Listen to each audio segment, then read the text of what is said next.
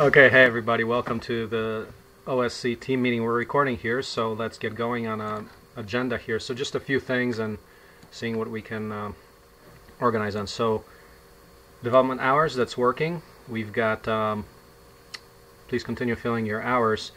On today's agenda is continuing the saga of open product development and just a few things. Uh, results, so I'll report on the results and then see what, where else we are with Lex and Abe and anyone else who joins. So, um, 3D printer, major point of development still. So you can take a look at the video from D3D version 18.01. That's a 12-inch version of the 3D printer. That's um, I'm actually sending that out to person from one of the old workshops did some sample prints with that.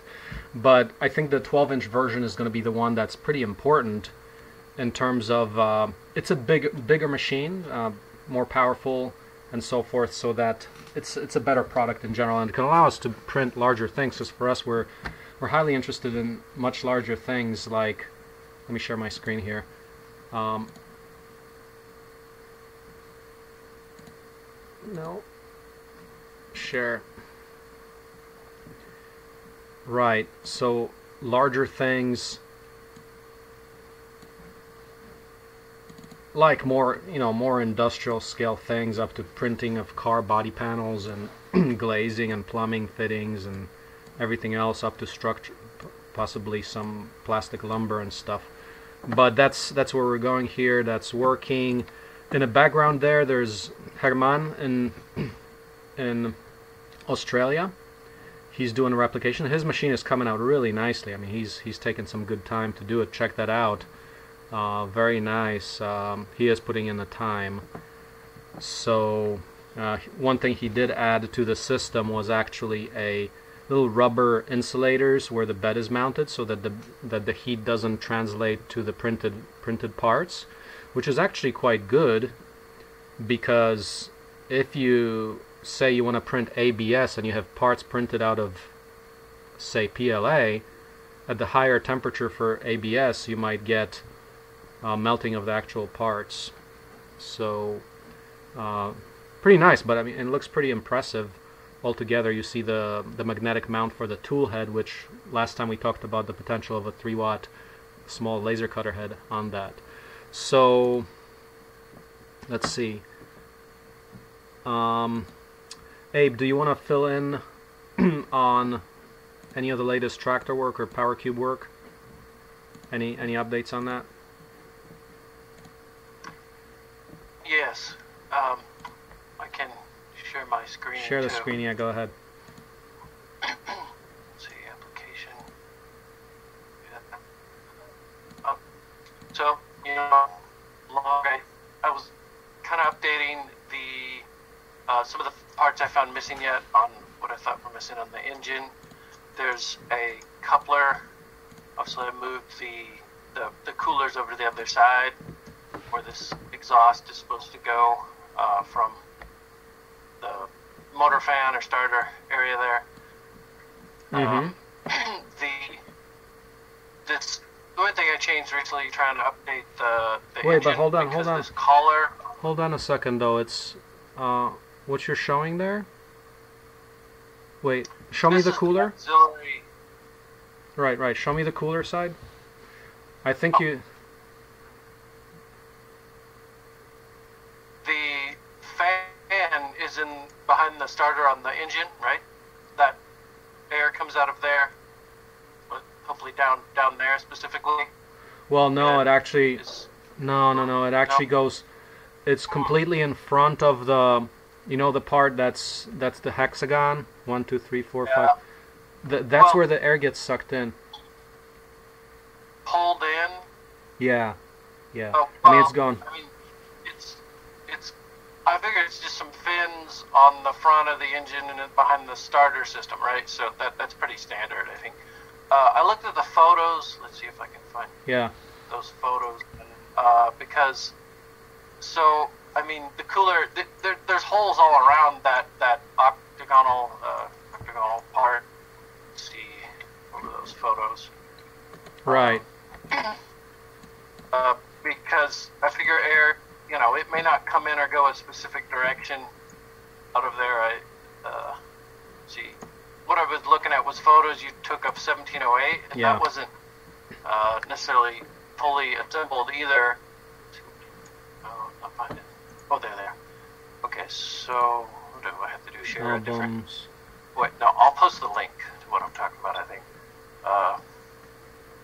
because you have the link somewhere. But okay, so link in the in the side to these photos.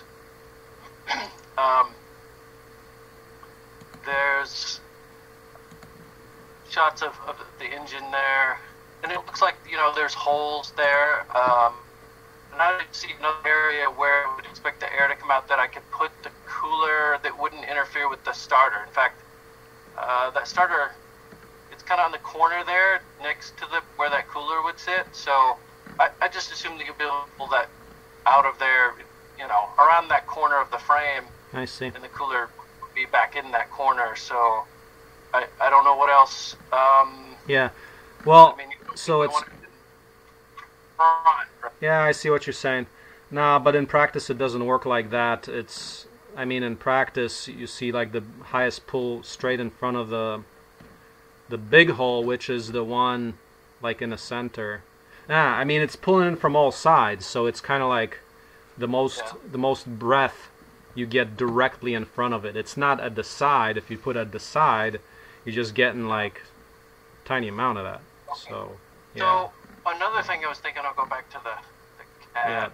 Um, I started thinking, you know, we have all these problems with the electric fan stuff. Yeah. And let's see, in those photos there, that pump setup is not assembled. That was 1708 again. So, yeah. uh, but there's this um, sleeve coupler that goes over. Let's see if I can make this transparent real quick, uh, and we can see maybe in there. Um, so in here, there, there's the shaft coupler that goes on the shaft in this sleeve. I just added because that was missing. I, I didn't see that in the photos, but I assume Yeah, yeah. that No, you're works out well for that. Yeah, yeah. know. Because that seems um, it makes kind of a monolithic component that you're not going to have like vibration problems if you try to make another uh, mount for the pump on the back end, Okay. right? Um, um, okay. Yeah, no, actually what I need I to would- do is um I think I what I need to do is yeah, you're right. This power cube where's our 17.10 cuz that should let me see if we have 17.10 cuz Let me open another CAD. PC 1710. Yes. No, we really have let's see tractor 1710. Okay, that might some of that might be there. Um let's see. No, I what I need to do is show you the actual as built because the as built. Yeah, it was actually a little different. We used we just homebrewed our little coupler because we just used like a two-inch pipe and put flanges on it. Why? Because we ended up cutting down the shaft of the engine to make everything shorter, like you see in your CAD. Your CAD reflects it. It's see how long that coupler is. What we ended up doing is cut the like an inch or two off the shaft, and we only had like a one and a Oh. half inch of shaft left, and therefore we condensed up, made it much tighter. And actually, I think your power Okay. cube reflects that that it's a little too long, right? Yeah, it is. It is a little bit long Yeah. there now. I I wondered about that. I wondered. Yeah. Yeah, you'd mentioned cutting that off before, so I Yeah. we probably need exact dimensions on that, Yes. and then coupler the, or the sleeve Yeah. goes over there. Um, I don't know the dimensions on that array either. I adjusted per the dimensions because somebody else six inches long in the CAD before, so I'm gonna Yeah. to go back and adjust that too to Yeah. match. I need to take a picture Um, for you. Yeah. But what I was thinking is we have all these fan issues. And I was Yeah. wondering, I- I know some of that pipe that using to make that sleeve coupling there is kind of expensive, but it's just a short piece. But if that's fairly large, I was wondering if there's a way we, we've got that motor there. Maybe we could put a fan in there, like 3D print some crude thing that fits on that coupler inside, and then just cut, you know, just torch Hmm. some holes in this pipe and make it blow air somehow Yeah. simply. Yeah. But you know that would use existing parts mostly. But Yeah. I, I don't know how much CFM you'd get out of something like that. Uh, That's I doable. I don't think it's-. Yeah, I mean it's doable, but I don't think it's particularly easy. If we have Yeah. the fan in the front, uh, it's easier to use the fan in the front. Yeah. So I guess it depends on yeah how the air flows around there, and, and it sounded like with this auxiliary and the small cooler that the heat wasn't as big as an issue. It's almost passive is almost enough, right? Yeah, that yeah, that was the whole point that we have definite serious sucking in of air at the at the fan, and just by observing how strong that is, it does look like it's it's good enough to, for what we do. It definitely has visible flow. Yeah. So Yeah. Mhm. I don't know if there's a way we can manage the airflow somehow around there. Um, yeah, it should be. I mean, it should be sufficient. We should be good. I mean, we should. Um, what we need to do is test it okay. and make it work because I'm pretty confident it would work. And then, of course, ultimately you go to the actual build and running it for a few hours and see if you get any overheating. But I think it should be good. So, Oh. Yep.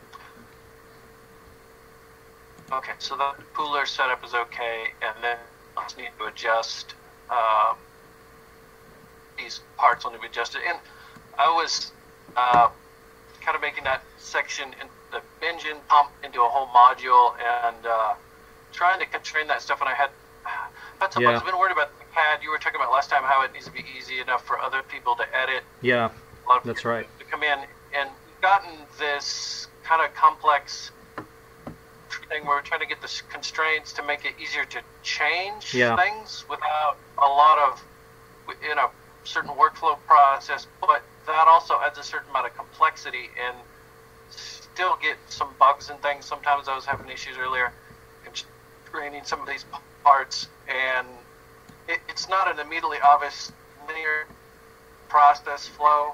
I, I think there's some complex decision tree because, well, I say bugs, but some of it I think is there's not enough clear documentation, and of course the underlying software can be better, obviously, I guess, but yeah, don't probably understand enough of the underlying code in the proper order to use the constraints and, and things well enough yet. So it, there's you know instructions and documentation on using FreeCAD to some of it this way, but I don't think it's thorough enough yet.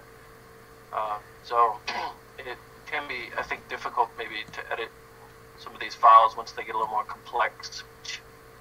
Yeah, spend some time on yeah. I mean, the idea ultimately for any construction set is that you can import one part at a time, which means that so say you have the pump, you have the engine, and and you kind of are supposed to work from somewhat from scratch because the idea is that you can modify the frame size, modify the arrangement if you need to. So it's more important as long as we have the library parts that are that are good to go, then it should be uh, workable to get the higher level design from that. So once again, the construction set approach where we focus on the parts, as long as we have have those that are pretty exact, then we can manage the rest Yeah. of the process. Yeah. come up, I think, with ways to, like in this document where I've got these other parts on the side, and it's down, they're, they're heading over here, and they're editable. And when you clone Yeah. them, I think we've kind of gone over this, you can just assemble them and constrain them into this, but you can always go back and edit the original parts here, and it'll just update the parts over here. As long as they're constrained in a reasonable fashion, it all just updates when you make changes. When you use the clone, it, it. Yeah, yeah. Okay. We. so that's I guess that's another. So that makes it another possible workflow instead of the full-fledged uh, assembly constraints, right? Using so that Um, that's a well, simpler it, way. It uses the constraints because you you um, yeah, you constrain the clones, and if the constraints work out, which sometimes they seem a little bluggy, if the flow is it right because I don't understand the right order to do it, maybe. Um, but it it um once you constrain those parts, the constraints will always update. Yeah. you do them right for the clone parts. Yeah, So no, that's good. All the constraints are there. It it should update that way.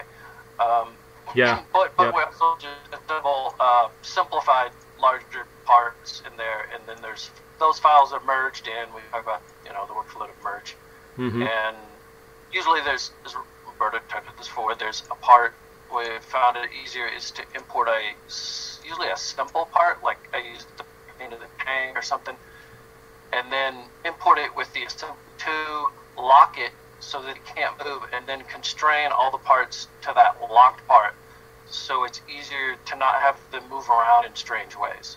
Mm-hmm. Because sometimes the constraints were difficult with that. So that that again the Uh-huh. general way they were doing. Um, Yep. let's see. Uh, anyway, back on the power cube in general, uh, got a bunch of detail parts. So I was going to start on getting those feet in there. Mm-hmm. Uh, some of mm-hmm. those that's somewhat flex. Obviously, the rubber feet. Uh, Yeah, rubber feet. That's important for vibration. So, I think I think that those are. I don't know if they're. any- Yeah, I mean, this whole system is vibratory. Vibration is bad for, uh, you know, uh, wear and tear. So, uh, obviously, you need those in there. And Mm-hmm. assembly. Uh, I think those are an inch, but if we need to get de- more detailed than that about that, I, uh, Yeah. I the- guess the issue is getting more measurements if we need to, and I guess that's, uh, I guess, mostly up to you there on the farm getting uh, things measured. Yeah, they should be-. Those feet should be. I don't know if you found them in the BOM, but you should be able to pick that off the BOM. Were you able to do that? Oh, oh, okay. I thought that they were just came with the engine. No, they don't. They're, they're a, No, that's okay, so they're in a Separate item. Part. I, I, didn't, I didn't see those. I'll, I'll look that up. yeah, separate and somewhat important because if they're an inch high, then you're adding an inch, and you have to consider that for the height of the power cube. Because in one of them, that we simply were too tall, and that's why that was part of the reason why we had to put the in one of the power cubes the cooler on top, because once the engine was raised by the feet, things didn't fit like we thought they would. So, yeah. Yeah. Okay. Yeah. I think. mm, I think these fittings on pump and everything were okay before, and they're part of that as but I think I need to double check fittings, and Mhm. I, I don't know that anything should change. If that, if that pump is the same uh, off-the-shelf part, I don't know. Are those? Do you have multiple of those in stock and planning to use more of those, or are they likely to be different in the next build? Look at Because the look at the. BOM. I think we're probably going to use the same thing as in a BOM. Okay. Yeah, in a 1710 Yeah. version 17.10. suppliers Yeah. It's pretty it's pretty consistent. Um, and then the only other thing I would call out for is um, a part library dedicated to hydraulic fittings. That's one of those things that we always pick from. So for the the hydraulics construction set, you want to have all those parts readily available because that's a very distinct and clear part of of just about any of the heavier mechanical devices. We always use you know these valves, these fittings, these hoses. So um, maybe you can start. I don't think we have a hydraulics library. Uh, if you can start that and maintain that, that would be very useful. Just like Ru- Ruslan. So actually, Ruslan has been working on a pipe, just regular pipe, and fittings more like PVC, PVC pipe and fittings. So that's also in common use. So if we get one for hydraulics, that would be uh, a good piece of the construction set. Yeah, because he's, working on like a code or workbench maybe that Yeah, generates pipe Yeah. fittings. yeah, Okay, so maybe eventually that'll that'll grow. yeah. It's a little more, pipe fittings or pipe fittings. yeah, a little more complex for hydraulics because um, they're not as Yeah. standard as the standard pipe fittings. So the workbench would be a little more complicated. Yep. More different types of threading Yeah. compatible. Yeah. Um, of course, we're usually not displaying the complexity of threads. It's kind of a crude representation, but I, Right. I don't think we need to get that detailed. Yeah. Not on. necessarily. Um, and, and yeah, and you were mentioning, I think last time too, some representation for uh, hoses. I, I don't think we Yeah. necessarily have to put the hoses in detail, but just some representation, Yeah. color coded maybe, Yep. like we've been doing. Yep. Um, let's see, is there something else? I had a list of stuff on my log. It's gonna. Uh, what did I? I think, yeah, there's a few details, and I, I'm hoping the engine is detailed enough in general, so we have enough information to work off of it. Right. It Right. And and yeah, as far as you know, as far as a like when we get this thing pretty detailed, I mean, I can actually, you know, well, actually, the best workflow on this power cube would be. So right now, probably in a week or so, I'll get back down to the workshop and start working with a torch table. It's really cold here right now, but I think what we want to do is once this is all finalized, some simple cuts and you know on the torch table or, or just assembling this so we can verify uh, to the minute detail because because I think we're very close to a power cube that's you know we can really crank them out now. Just you know I, I'm thinking like I've been so as I mentioned I'm writing a book on to drop the knowledge but in it I'm thinking okay what does a 160 horsepower horse tra- uh, 160 horsepower tractor look like? Where you're getting to like D6 D7 scale of bulldozers and stuff like that cat D7 and um, 10 power cubes. That's what it takes. So it'd be like a whole battery of them and it so- sounds kind of crazy but if each one of them is simple enough like a leaf on a tree by biomimicry it does make sense. It's like when every unit is so inexpensive and easy to maintain then it does make a lot of sense. Like you know instead of a breakdown that costs you thousands of dollars or you have to replace an engine you're just snapping out one of these units which it could be very promising. So that's something to test and we're at a point where we're close to that um, I saw something about a quad track you were posting Yeah. on Wiki, right and it looked like uh, it looked like you were suggesting larger engines though, like 40, double the horsepower.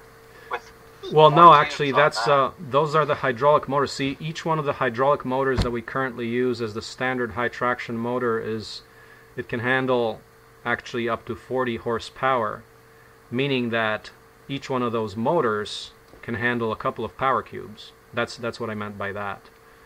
So okay. currently they're the hydraulic motors on the wheels they can take more power than a single power cube has so like two and a half power cubes per motor but a good version that i've been thinking about is okay you, you use the same tracks the exact same tracks that we've used on microtrack which are way overbuilt they have one and one half inch track pads they have um well we have designed them with the the large motor but you can put up to well, each one of those tracks put four of those tracks on a much bigger machine, and then you have a very, very powerful tractor. So basically, a supersized, basically the same modular element as the micro track, but four of them, four of the track units, as opposed to two. And each track unit, if we want to, we can drive it with up to two motors, like one one on each side. Um, kind of the same uh, high track configuration, but two two drive motors. So you can using the same design pattern, you can make some super heavy traction machines, and we're talking about Cat D6, D7 territory, which is uh, up to using. Okay, so the numbers are the calculations are using eight of our hydraulic motors, we're up at 28,000 pounds of traction. That's pretty serious. Or at four four motors, you know, four tracks, four motors, for about 14,000 pounds. So that's we're talking about scaling the same system as on a tiny micro track to a huge machine. So that's that's the that's the idea there, and that is quite exciting because um, and I think we're gonna have to do that this year. Uh, if we've got the torch table running and we can build all the power cubes, we can we can do that. So uh, probably I would consider putting that on on a schedule for like October, not not October, like August or something like that. Um, well, and the smaller power cubes prototype that a little earlier. Keep keep testing the micro track, which is out. Uh, it's kind of cold and frozen out there right now, but once it warms up, we're gonna take that out a little more and, and run it. Okay, but let's move on to uh, other topics. Abe, is that good enough for now? Yeah, I think um, I'll work on the details, uh, continue on that, and Mm-hmm. um, I, I got a few details to do that. We don't have a lot of, I guess, team members for your Jet Suite breakdown or that, but I'll, I'll just keep chipping away on that, and I'll continue to chip away some of the library wiki update stuff. And I think what else too, Eric uh, is really working on the wiki and he's getting a little more detailed Oh yeah. with a lot of that stuff. So the wiki is getting uh, a lot more detail in it. Um, and uh, I haven't even looked at the tractor lately with getting this cube, assembling the whole tractor yet because I'm still waiting on the details. So that maybe later this week, but uh, I don't even know where um, what they're left on the tractor. But I'll try to get the cube first because that's got to go into the tractor. So yeah, I think that's I think that covers it on the power cube. Okay. Um, thank you. The next thing, oh yeah, talking about Eric. Eric is a guy who's just going off on a on a wiki. If you go to, um, there's been a historical milestone has been reached. Actually, this guy's got more edits than I do right now per week. Like per, if you go to, uh, let's see, recent wiki changes, or let's see, special pa- pages active active uh, list of active users. Let's see. I've got. I'm recording this.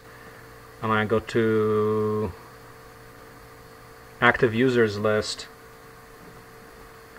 This one Eric has 484 edits in the last 30 days, whereas Marcin well, actually I have a little more. I have 661, but last week I checked, he actually had more edits than I do in the last 30 days. but that's pretty uh, interesting that someone's uh, going off on the wiki, which is good news. Okay, um, but moving on, just one more thing I want to announce that for 3 p.m. Uh, we know, we have Shane, who is in the background working on on the CNC circuit mill. We're meeting at 3 p.m. So for anyone who wants to stay after this meeting, you're welcome to.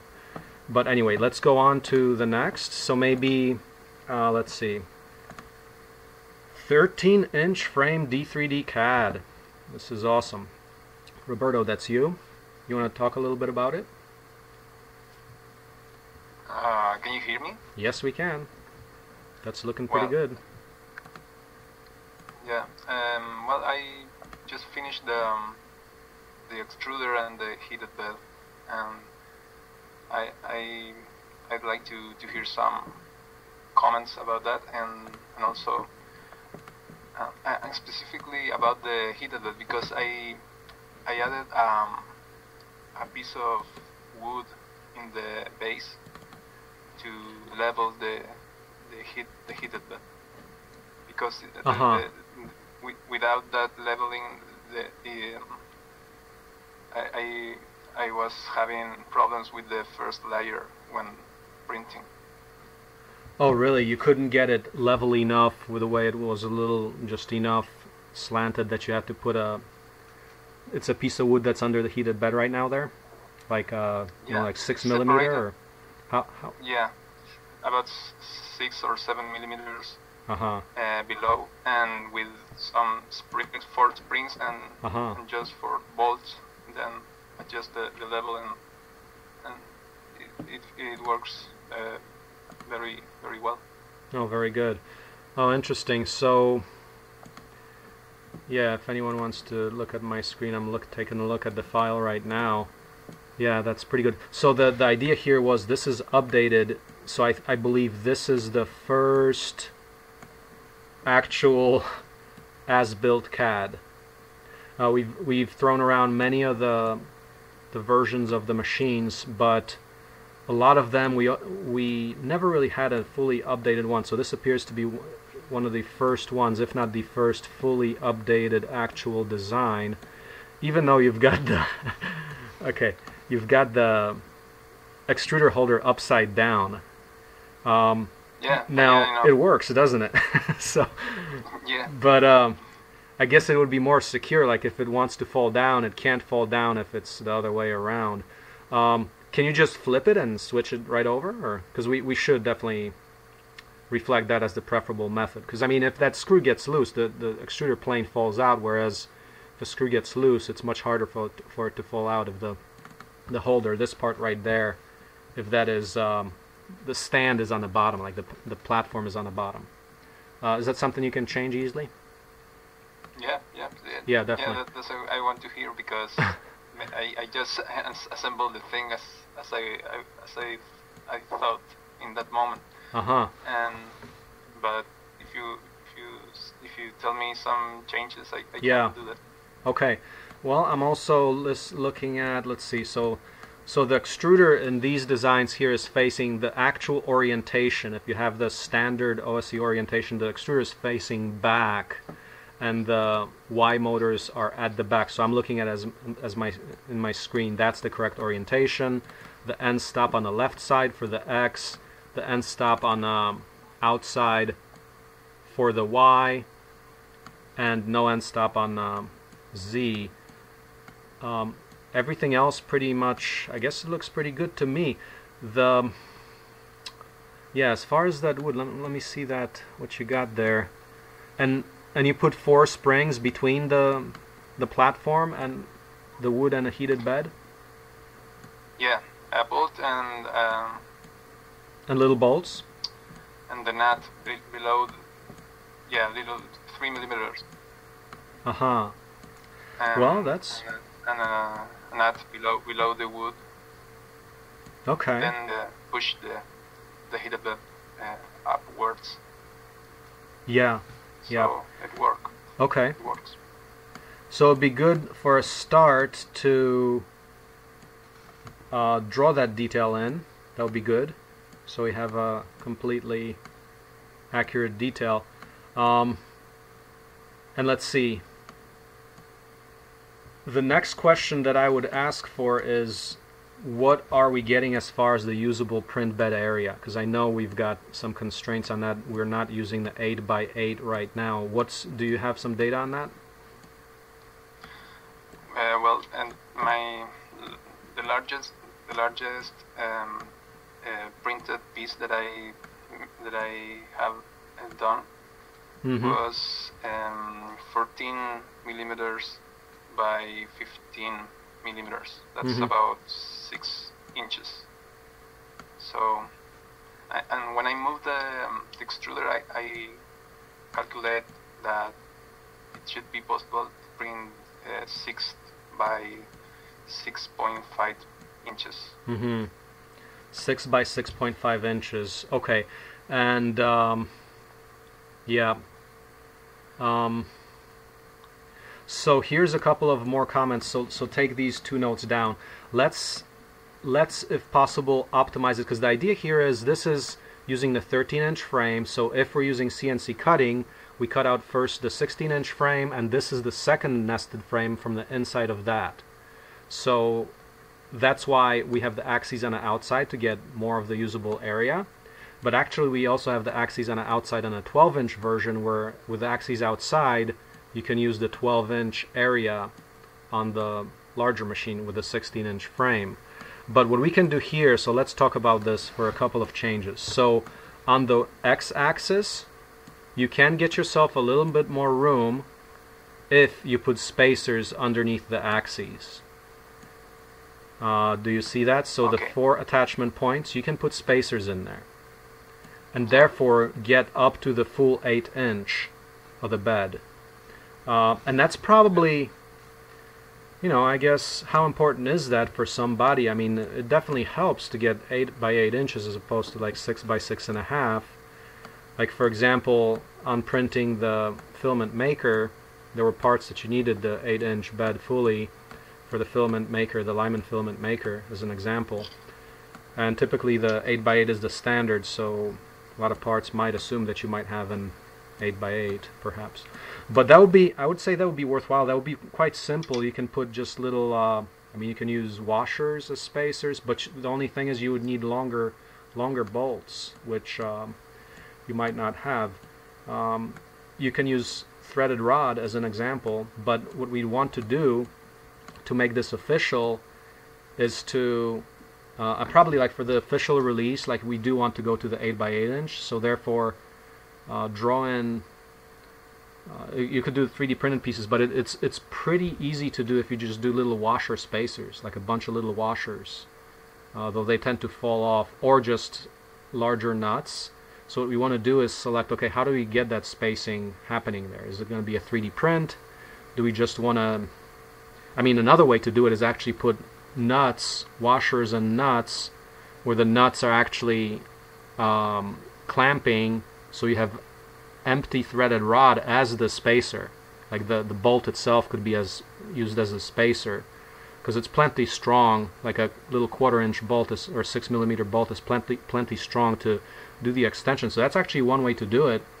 And maybe that's um, perhaps the easiest one because you're just using the bolt that you're using anyway but you're using like two more nuts to to hold the uh, the axis at the as far distance as you like in fact if you use threaded rod you can make that spacing larger larger and larger to the point that if you imagine that if you've got um, you know right now you got like six inches if you make the space an additional three inches on each side, which you can still do with a threaded rod, then you can fit in a 12 inch bed in there, which is uh, Yeah. pretty interesting. So I would propose doing that. Uh, but for this, just just wor- worry about the eight inch bed. Uh, maybe if you can select like a standard part, so this is not guesswork, this is replicable. Select a standard part of McMaster-Carr or some other source where you show exactly what that length of that bolt is, and it can't be some random length. It has to be a bolt that's sourceable, like it can be like 23 millimeters. It might have to be 25 millimeters because they don't make 23 millimeter bolts unless you go special order. Things like that. So so select a standard length that you'd like there, and source it and make it happen in CAD, and then we can add that to our official uh, 13 inch D3D version. So does that does that sound pretty clear? Um, yeah, yeah, I think so. Okay, so we addressed the x-axis. Now let's move on to the y-axis. It's uh, a little more tricky there because we don't have as much play there. But what we can do is if you observe the the rear left Y where the motor is with the end stop, um, you can gain yourself about one one inch or one and a half inches if you bolt it. Let's see, you don't have the bolt. Okay, so I would like I would like you to definitely do add to this CAD this the exact bolt holes because then we can get those bolt holes CNC cut and that's that's all comes in the kit.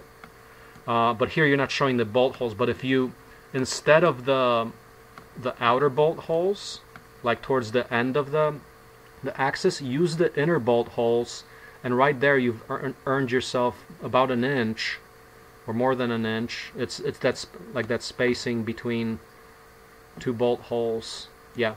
Uh, so so move it over one bolt hole. Does that make sense? Mm, not really, because um, with the current Uh huh. configuration, the Yeah. um, the position of the extruder when the X Ah. touch the end stop I see. is in the limit of the heated bed. Okay, very good. And that brings us to the following plan then.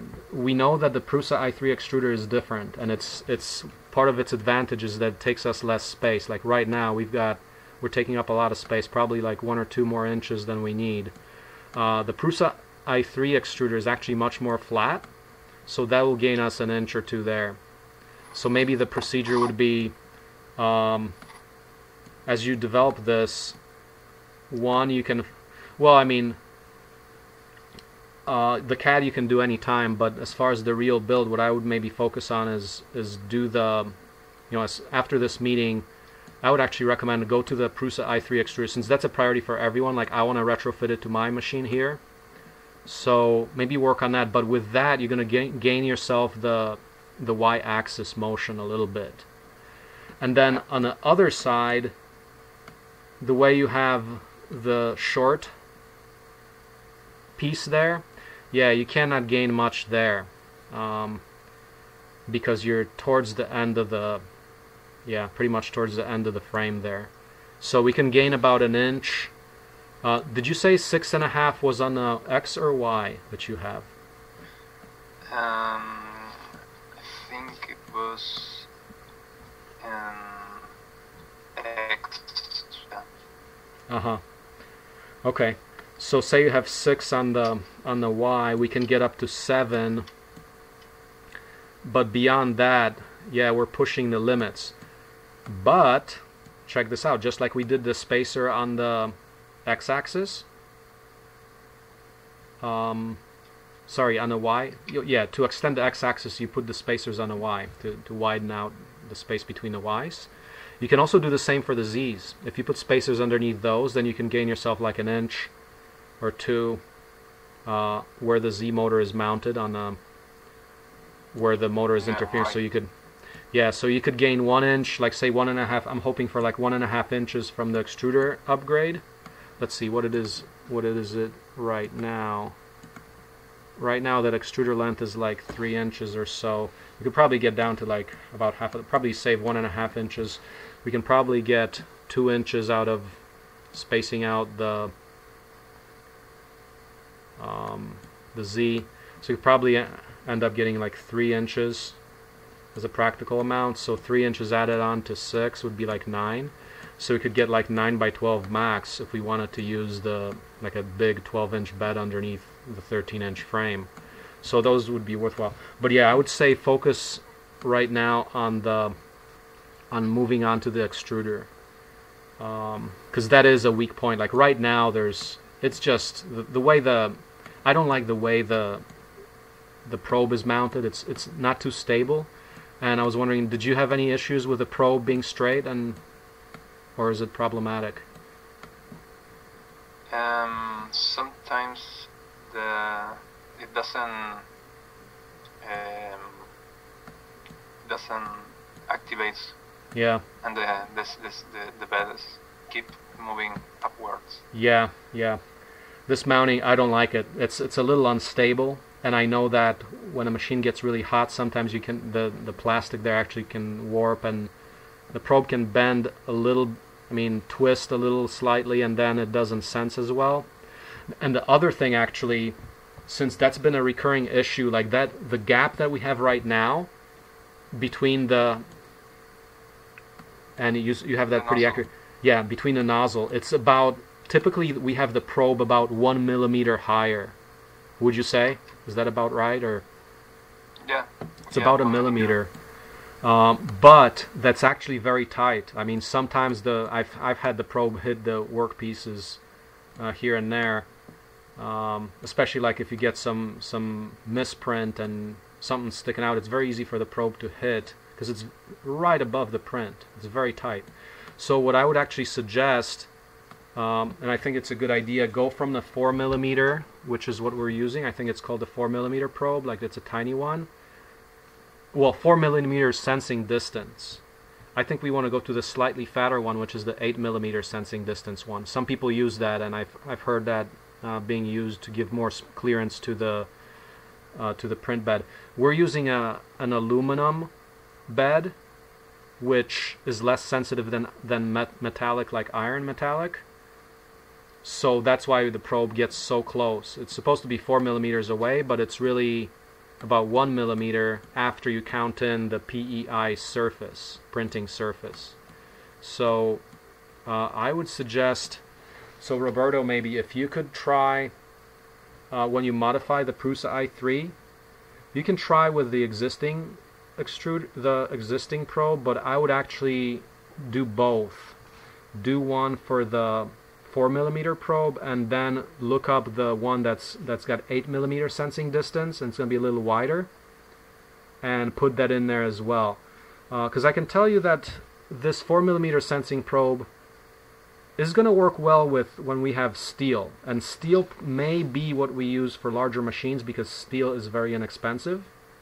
But for now we're definitely using aluminum um, for in part because the of the aluminum print bed, which is integrated with the heater. The heater print bed is aluminum, so that's that's that's what you get.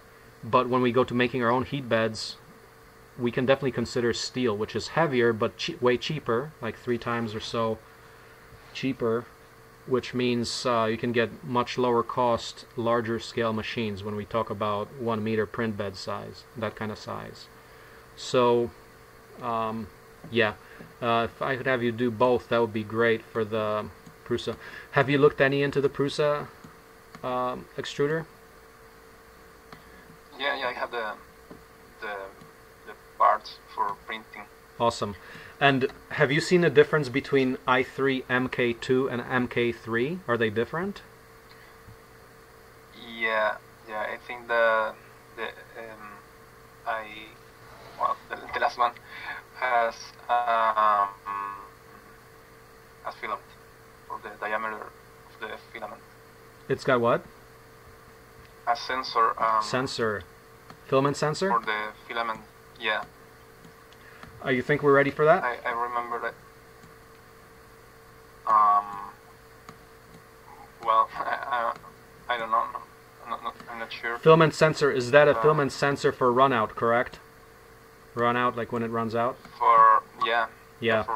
No, I think we we would want to have that. Um, I do believe Mar. Let's see. I'm not sure if Marlin supports it, but uh, we should definitely get that. Does Marlin support filament run out? Does anyone know?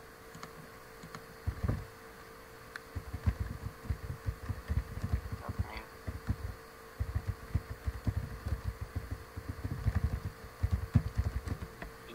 You sensing, Yeah. Yep. Yeah, I, I know uh, this was probably a year or two ago. There was some functionality for that. I'm not sure. Yeah. State.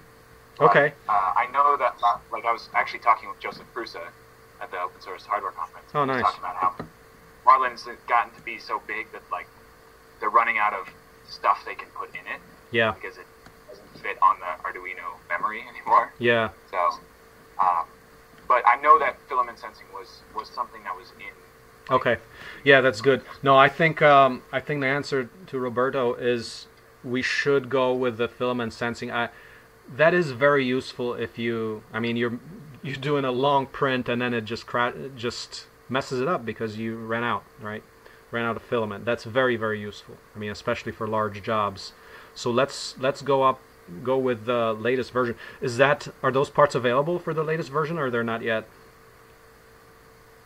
Do you know? uh, yes, yes, they are. Are- They are? uh, At least the um, the printed parts, the the cut. Okay. Let's I- do that. I have. Can we do that?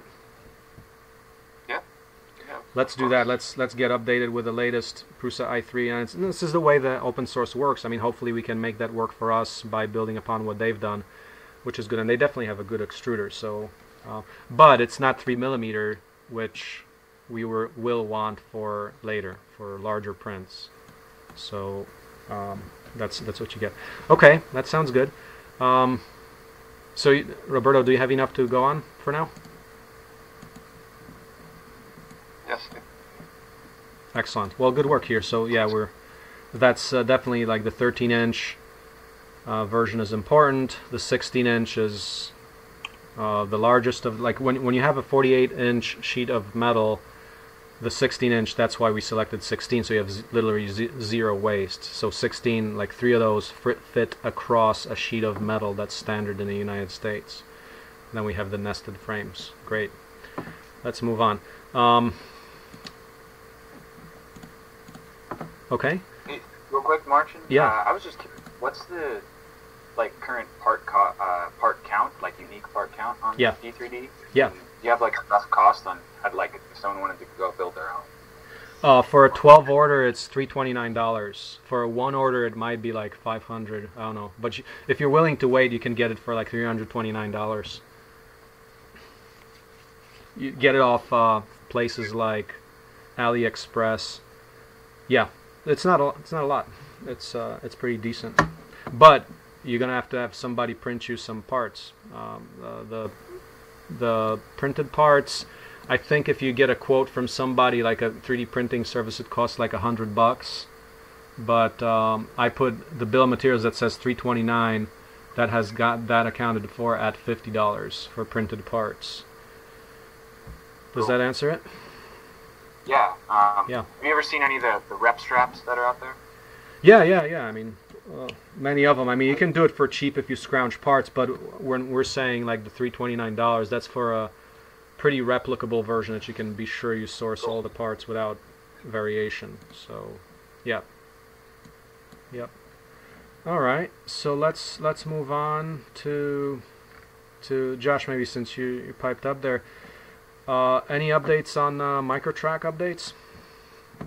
I, I don't have any updates. I've, I've just uh, been kind of laying low for the holidays. But, Yeah. Um, kind of back at it. So I think the order of operations is uh, we've got uh, work on the frame, um, and that's kind of just updating based on the last last build. Yep. Um, then we're going to be looking at that tensioner. Um, yeah, so Yeah. I mean nothing super new. Um, Okay. The motor assembly and its mounting, and that's kind of related to the tensioner as well.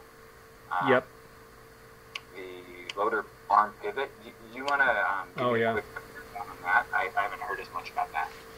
Oh yeah. Well, just one update. So since the since the workshop happened, uh, we did some field testing. One thing I discovered was that the tilt, the curl, the dump of the bucket is was too too small. It was like 30 degrees or so. So I actually changed the pivot, the top cylinder attachment on the quick attach plate. I put it closer to the bottom point such that the cylinder is making it move at a long, larger angle so it now dumps pretty much vertical. So that took closing in the, the top hole by about like I think two inches I moved it in so I can take a picture of that so instead of that separation being like whatever we had like 10 inches it might be like 8 inches now. So that's that's a major shift as far as the design. Beyond that it's pretty much um, pretty much the same. So that's that's something I can take a picture of and and um, update that. Hmm so I, I owe you that picture and for Abe I'll take the picture of the coupler which we did not from the off-the-shelf parts but we which we built ourselves off two inch heavy wall pipe so yep we'll go forward with that Yeah, and then so next on the list, he kind of had the the loader arms triangle pieces. That was those little pieces Right. we welded on yeah the arm. strap. yep yep Did you, did you like that configuration, or were you, are you just thinking that we would? Because I was thinking we would just change the shape of the arms. Change the shape of the arms. hole. No need for the extra pieces when you could put cut it all out of the same piece. Uh, when it came down to reality, we we just weren't prepared enough to to Yeah. figure that out before the event. So yeah, no, we want to just pretty much raise the arm geometry a little bit so we don't have to add those pieces. They're already the holes are going to be within the arms. Yeah. Okay. Yep. Cool. But we want to, we do want to document this for um, the sake of, um, yeah, just getting, you know, making sure we have this complete model, even though it's, you know, like a lot of the, like, I don't think we're going to suggest anybody build those loader arms, but since we have that, I think it's it's it's good to have that in CAD because then we can do, you know, as we test it, we can uh, work with the CAD and figure things out and stuff like that. So, so I mean, altogether, it's it's quite pleasing. I mean, the the results are good. I mean, the machine works well. I mean, could move dirt around and move around relatively easily. So, yeah, pretty good, pretty good, pretty satisfying so- result. You still end up with like a little bit of bad in that, right? But there's some points where it's like turning. the difficult stuff, Right. Yeah, the part about turning is difficult. Is that that's one shortcoming of this. If you like once I put on the bu- put on the bucket with a full load of soil, it is hard to turn. Whereas we didn't see that in during the workshop because we could spin circles, but that's because we didn't have the loader arms on uh, and Yeah. no weight on a loader, so we could really turn that thing around in place. So what to do about that? What I'm thinking for the next version, we can gain just a little bit by decreasing the size of the drive sprocket. We can go from like uh, the current eight eight tooth, maybe down down to like six teeth, and it would still probably work well.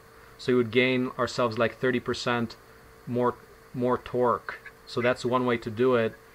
Uh, other than that, I mean, we keep on stalling out upon the max torque. So another potential thing to do is to reduce the pump even further to get more torque out of a smaller pump that will never stall because it's because the engine's got more power. That might get us to a higher psi. So I think I'm hoping that with the smaller drive sprocket, we can get that 30% will be enough to make ourselves really comfortable with the turning. Because right now, yes, in tight spots, I mean, when, when you're on open ground, it's not an issue. Just take a little more space to turn. But if you want to, you know, 360 out of, or like, you know, do a turn in place, which sometimes you want to do, you don't want to be moving like back and forth. You want to just do it. So, definitely that part is is uh, desirable. Um, and beyond that, I mean, the other things we can try. I mean, the machine is is way overbuilt as it is right now with a half-inch thick tracks. I mean, we can potentially lighten up some of the structure to make a lower weight machine, in which case the the hydraulic motor would probably be more than enough. But right now the machine is quite heavy, so um, we can we can work on optimizing that. But I'm hoping that a smaller drive sprocket will do the job because I do like the motors being mounted like we have right now. Those smaller motors, rather inexpensive. That those are pretty good. Then of course the other answer is to use little stronger motors. So there's different ways to solve that issue. Yeah. Okay. Yeah. I guess um, the only thing I'm just thinking off the top of my head is that with those smaller, um, like a smaller sprocket, you Yeah. end up with like a like where the chain is is rolling across that sprocket is like a smaller OD. And I remember we were, we were Right. already pretty tight on the motors. Right, that we were tight there, but that's because we messed up the coupler at that time. So I think if we Yeah. don't, we, I mean, we really overworked that and kind of made it awkward. Uh, yes, that is a consideration, but I think that's doable um, because we can make it make that sprocket like towards the end of the shaft, not like towards the motor side as we kind of had it more this time around. Yeah, I, I think we can negotiate, but definitely it's we have to work all that out in a CAD because Okay. um, that's all going to matter. And it, and if if we decide to do that, and and we might have to end up modifying the track piece itself. That's another route. But uh, like for example, making the tracks instead of being 10 inches wide, they could be six inches wide or something. And there's different ways to negotiate. But yeah, yeah, just a little bit more to really nail that down. What I do like about the overbuilt tracks is that as they are, the exact system as we have now could be used for the way larger machines. So that's that's the part I like because then you can be really so flexible. So Yeah. um, yeah. Okay, so let's keep moving on here. We've got a couple of minutes. Um, let's see, Lex. There's Lex and there's uh, Michelle. Michelle, do you have any content to shower upon us?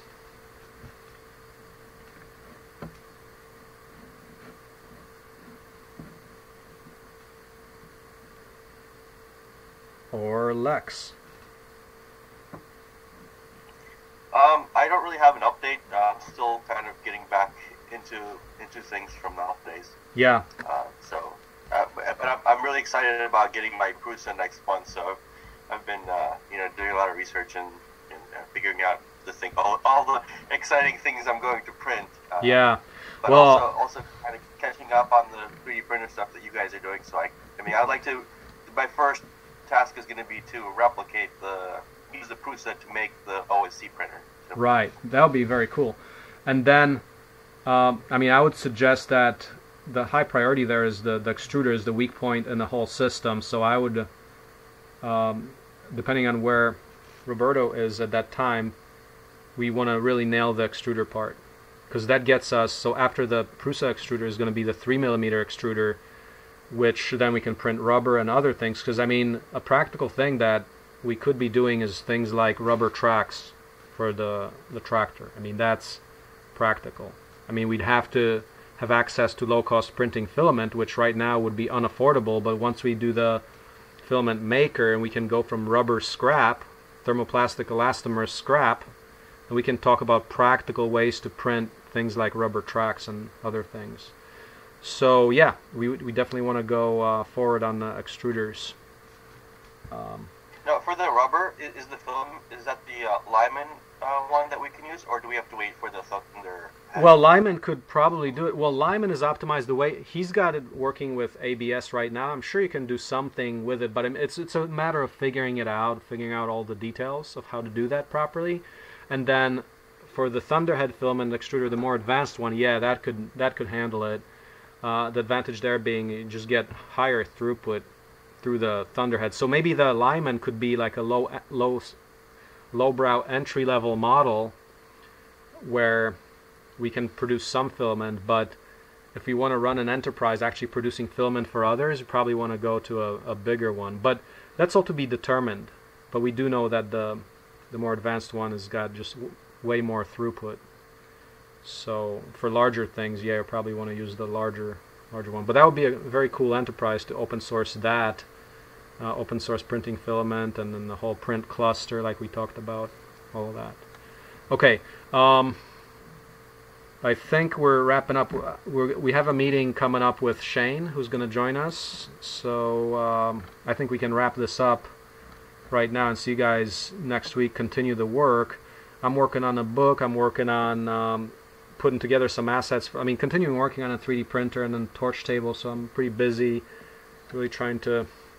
Uh, but I do want to bring up the topic of all of us collaborating on on a website where we can market the 3D printer all the various assets like the product manual, training for people who want to build these things. I mean, there's a lot of digital assets that can be created for like a nice website where which can offer kits, digital products, workshops.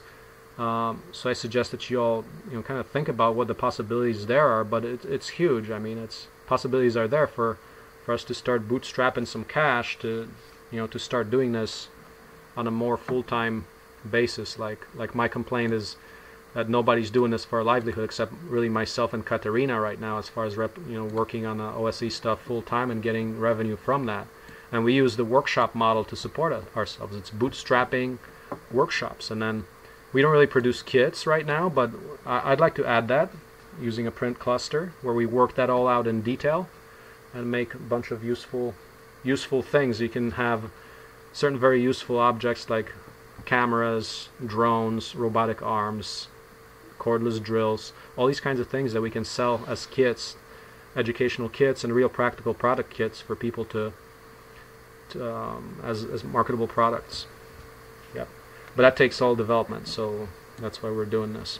All right, so in any case, uh, I think we can wrap up here, and um, I'll shut this meeting off. Thank, thank you, everybody. So same time next time, next week. Uh, hope to see you all there and further updates at that time. Thanks a lot.